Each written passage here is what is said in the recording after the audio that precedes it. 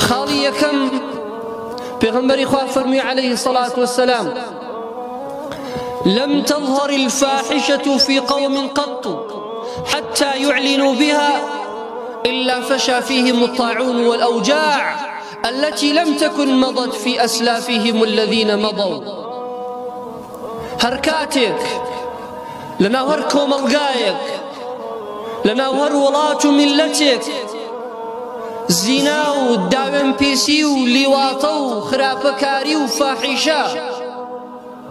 بڵاو بوویەوە بە ناویاندا و بە ئاشکرایی و بە ئاشکرایی کردیان وە شانازیان پێوە کرد حتا یعلن و بیها پیاوی وا هەیە داوێن پیسی ئەکات خی گەورە سەتری کردووە لە شەودا کردویەتی بەڵام ڕۆژ دێ لە ناو برادە و ڕفیقەکانی خۆی شانازی پێوەکە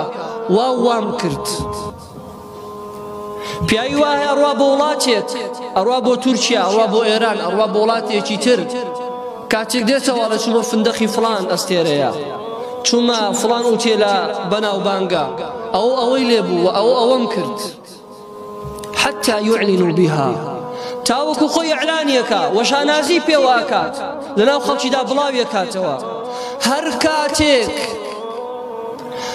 ئەمە دروست بوو لەناو هەر کۆمەڵگایەک إلا فشا فيه مطاعون والأوجاع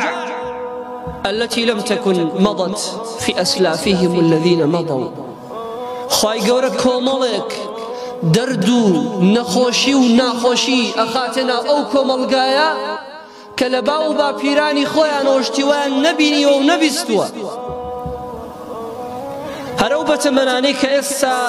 لەو مزگەوتە دانیشتین و ئەوەشی کە گوێی لە ئێمە ئەبێت لە بەتەمەنەکانمان و هەمومان لە باو باپیرانی خۆمانەوە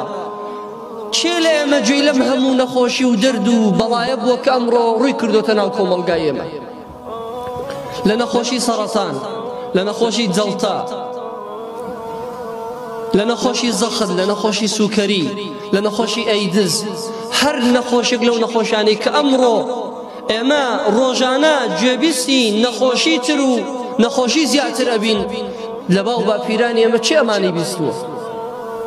ئەمە وعدەی خوایە سبحانه وتعالى چونکە پێغمبەری خوا عليه الصلاة والسلام وما ينطق عن الهوى